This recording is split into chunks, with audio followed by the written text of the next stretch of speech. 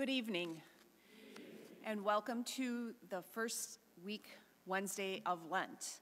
Um, this, we hope you will be, you're welcome to come every week. We are doing a, uh, a series called Meeting Jesus at the Table, and this week it's Dining al Fresco, the Feeding of the Multitudes. So please join in our prayer. Lord, we have joined together for our communion, common worship, yet each of us has brought something different to this service. Some of us have come with happiness and gratitude and want to give thanks. Some have come with sadness and disappointment and need to be comforted and encouraged. Some of us come with guilt or confusion and seek to be forgiven or redirected. Some have come with no particular feeling at all and need to be challenged and made to see the truth. Help us, Lord, that during this worship service that we might have our needs met. In silence, we would lift our personal prayers, but we would as well listen for your words to us. In the name of Jesus Christ, amen.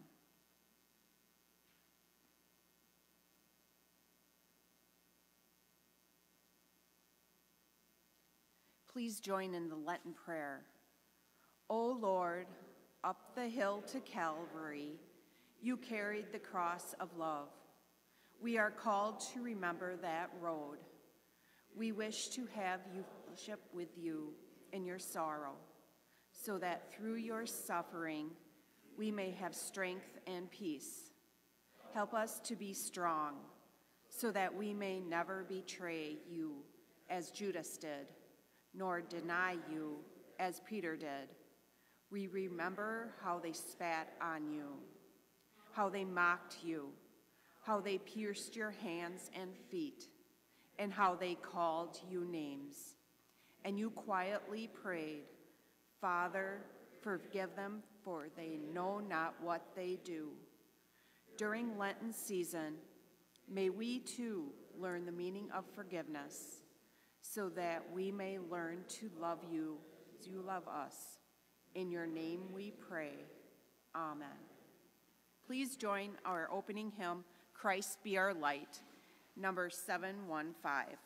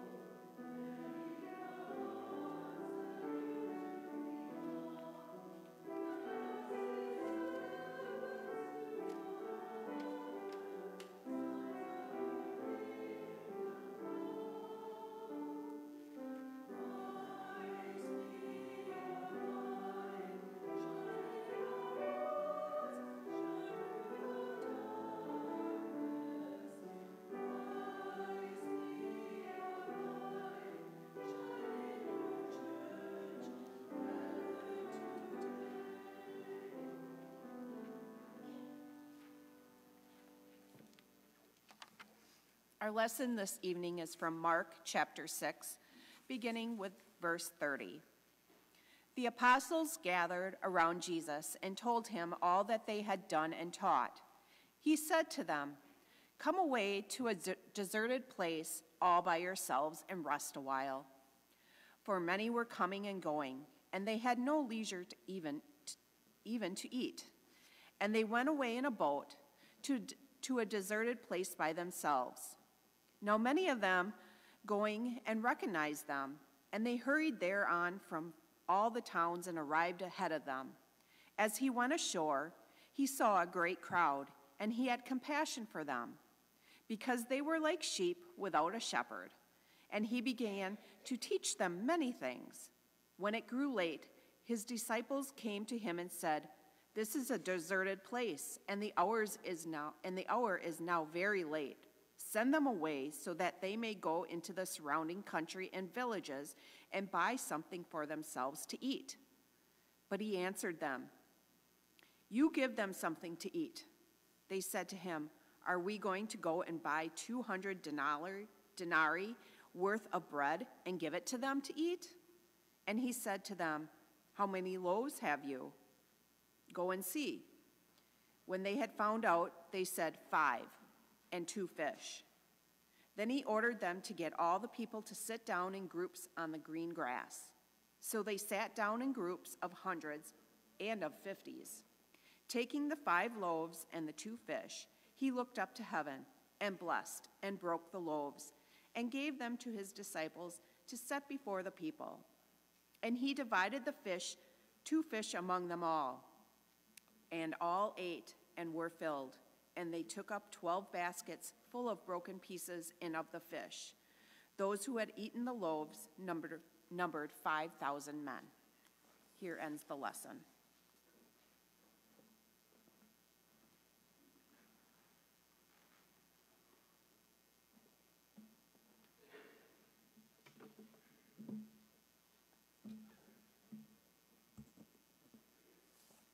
The feeding of the multitude. These messages you will hear each week were taken from a series that were found in a book of a resource that we had found. And this week is The Feeding of the Multitude with the Gospel of Mark 6 30 through 44. Have you ever been hungry? Really hungry? I acknowledge that I am among those in this world who are incredibly privileged. Perhaps you are too. I've occasionally had a growling stomach, but I have always known that I could and would, sooner or later, get enough to eat. I've never known life threatening hunger for food, but I have been famished for hope, for companionship. Maybe you have too. Perhaps you have also experienced a deep and abiding hunger for meaning and purpose, for a second chance, a fresh start, for forgiveness, for love. Stories about hunger and food are all over the Bible. As this study suggests, many of the most significant events in Jesus' ministry occur when he is at a dinner table. When the Bible tells stories about hunger or uses food and drink, bread and wine, as metaphors for God's presence, the backdrop is real hunger. The Bible emerged out of the lives of people who were often food insecure. Most of the people in Galilee in Jesus' day were one step away from hunger one bad harvest, one season of warfare, one disaster or another. People were starving. No wonder food and eating became metaphors for God's providential care and promise.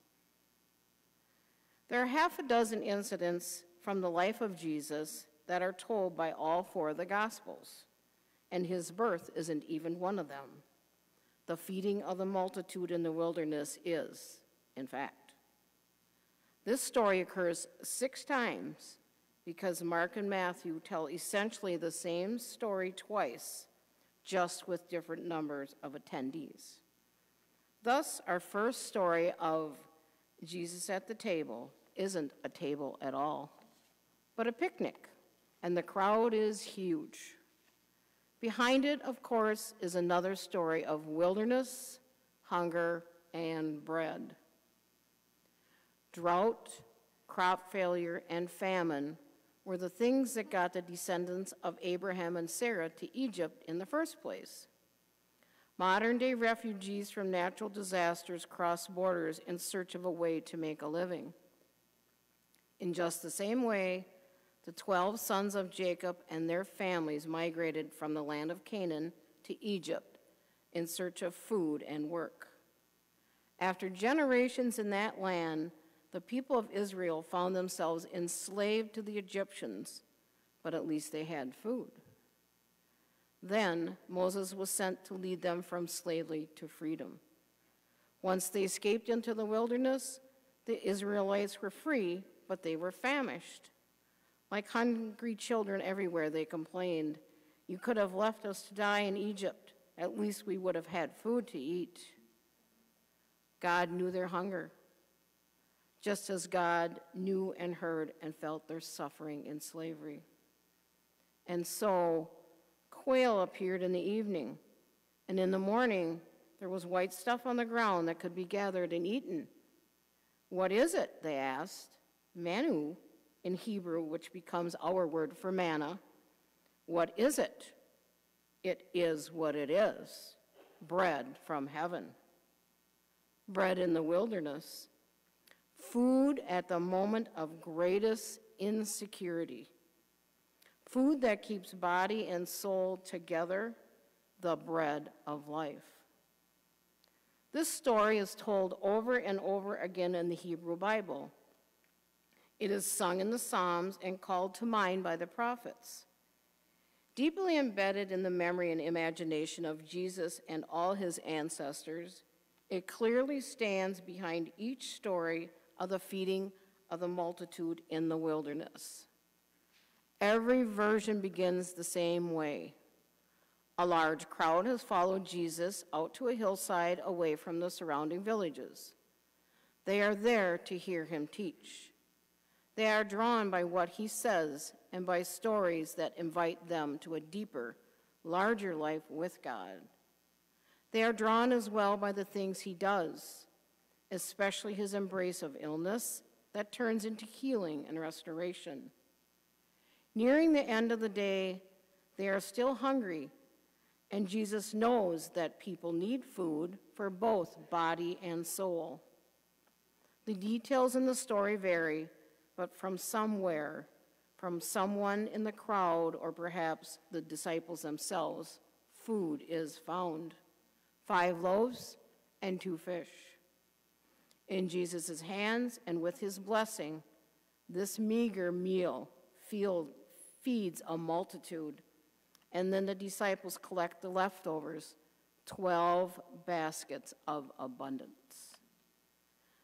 The COVID pandemic taught us a lot about hunger. It reminded us that food isn't just about eating. A meal isn't merely consuming the calories needed to sustain life. Food is meant to be shared. Meals are things that bring people together and create relationships. On the one hand, those of you who live in families may have had more meals together than you have had in years. On the other hand, those who live alone experience the profound absence of companionship, others with whom to share bread. After six months of eating all our meals in our apartment by ourselves, my husband and I formed a pod of safety with another couple who lives nearby. In the fall of 2020, we ate a few meals off tray tables outside on their patio. But the first time we shared a meal together inside at the dining room table, we were all in tears. It was truly the joyful feast of the people of God. The pandemic also revealed to us that many people in the United States are one step away from food insecurity. When so much of the economy shut down in the spring and summer of 2020, people lined up at food distribution sites, long lines of people in nice cars drove through church parking lots to get a couple bags of groceries. Especially with schools closed and free breakfasts and lunches gone, it turns out that lots of families in this nation live very close to the edge where food is concerned. For many in those lines, anxiety was compounded by shame. More than one person said, We used to be the people who brought extra food to take to food banks, and now here we are. Personally, I find this deeply troubling. In one of the richest nations on earth, it just doesn't seem right that so many people could be so close to being hungry. Surely we can do better as a nation. Surely we want to do better. The research office of our denomination asked Presbyterians what they missed most about in person worship. The most frequent response was communion. Eating a piece of bread and sipping a little wine at home just isn't the same, it turns out. We may not consume much food, but we, when we come to the table at church, it is a real meal because it is shared with one another in the presence of the one who said, I am the bread of life. Whoever comes to me will never be hungry, and whoever believes in me will never be thirsty. Lent is a season when many Christians practice some sort of fasting. Abstaining from food as a way of focusing one's attention on God is both an ancient and widespread practice. The roots of the Christian practice are in the worship of Israel, where fasting was often urged as a sign of the people's intention to return to God's ways and renew their promise to be God's covenant people. Fasting remains a part of Jewish worship, especially on Yom Kippur, the Day of Atonement. Many Muslims fast during the daytime for Ramadan, a month long time of spiritual renewal and recommitment. For some Christians, the practice of fasting is a practice of self denial that helps one identify with the suffering of Christ. Others see it as a way to recognize our sin and need for God's mercy and forgiveness. Fasting is neither a weight loss program nor a way to punish ourselves through the lack of food. In fact, fasting can take many forms. Some limit or abstain from certain foods, like meat or dairy, alcohol, or desserts. Others fast by preparing one or more simple meals each week and setting aside the difference of the cost to be contributed to a hunger offering. Fasting may have nothing to do with food, but rather focus on time. Some find it meaningful to limit their TV or social media use and instead to concentrate on reading scripture, praying, or volunteering in the community. Whatever form fasting may take as a practice during the season of Lent, it is a tangible way to reflect on the fact that we do not live by bread alone. That is one of the themes that stands behind the stories of the feeding of the multitude. In the Gospels, as in the Exodus story, the people are in the wilderness, a place of scarcity where neither food nor water can be taken for granted. In their time of need, God provides them with bread, a symbol for what sustains life each and every day. But manna in the wilderness is a day to day thing. The people can only gather enough food for one day at a time, except on the day before Sabbath, so that they can rest from gathering. The dailiness of this is intended to remind people that what is important here is not what they are eating, but who provides it. We do not live only because of the food we eat. The deep nourishment we need comes from God, whose every word is bread. Food that keeps body and soul together, the bread of life. We continue with our hymn of the day, number 461, All Who Hunger Gather Gladly. Gather gladly.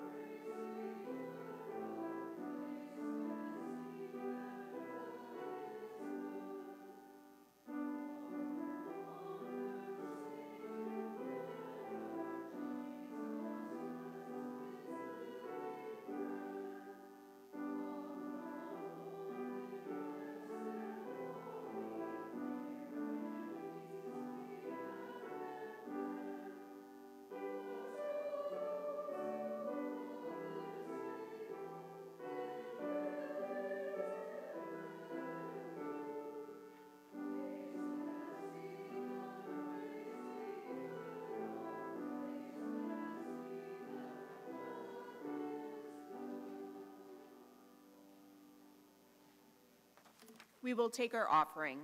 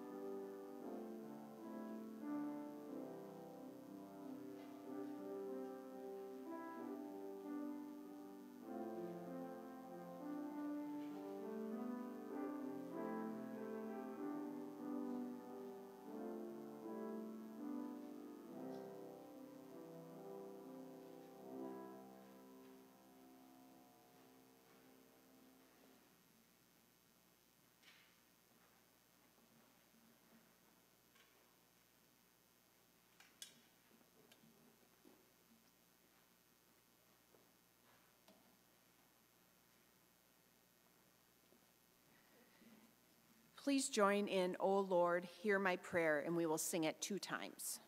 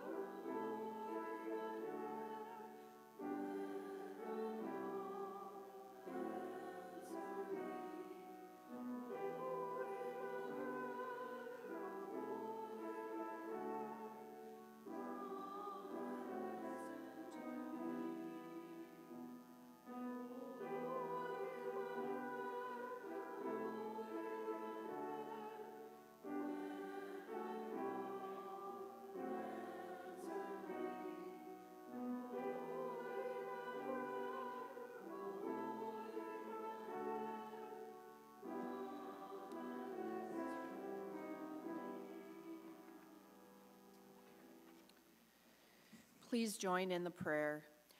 Holy God, by the grace of Jesus Christ, you know the tests and trials we face.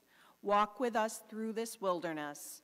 Come to us with ministers of healing and visit us with messengers of hope, so that we may return to you in faith, believing the good news of the gospel.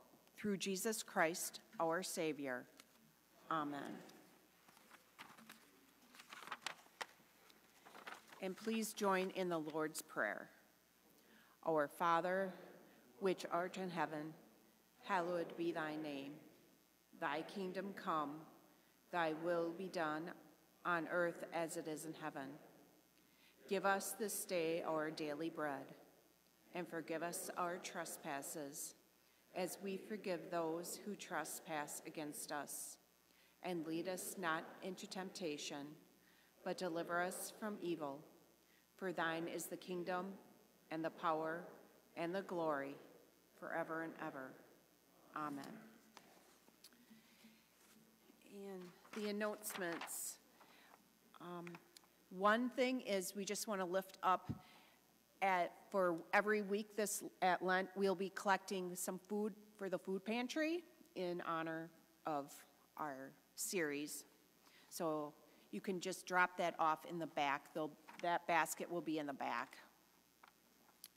Um, There'll be First Communion classes, so if you have, have not signed up yet and need to, please contact the office. And the Lenten breakfast will be tomorrow, and they will be having French toast, kielbasa, cheese, applesauce, milk, orange juice, and coffee. And you can read the announcements for anything further. And let's see, we'll do our closing hymn. Oh, Yes, oh, yes, and there's an insert in the bulletin that you can keep, take with you, and you can use that to reflect during the week, and it's based on what our message was each week. There'll be a new one next week. So our sending hymn is My Shepherd, You Supply My Need, number 782.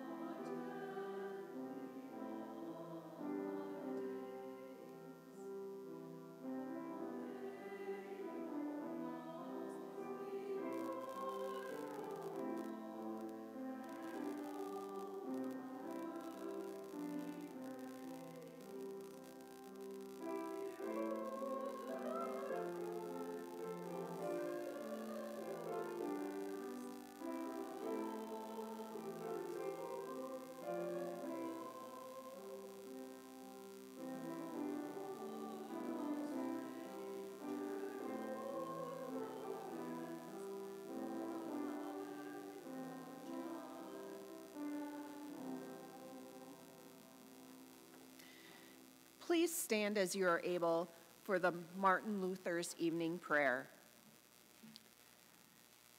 God the Father, Son, and Holy Spirit, watch over me. Amen. I give thanks to you, Heavenly Father, through Jesus Christ, your dear Son, that you have graciously protected me today. I ask you to forgive me all my sins where I have done wrong, and graciously to protect me tonight.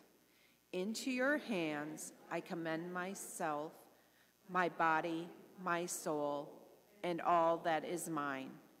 Let your holy angel be with me, so that the wicked foe may have no power over me. Amen. God, may your light guide my day, and your spirit bring me peace. Amen. Have a good evening.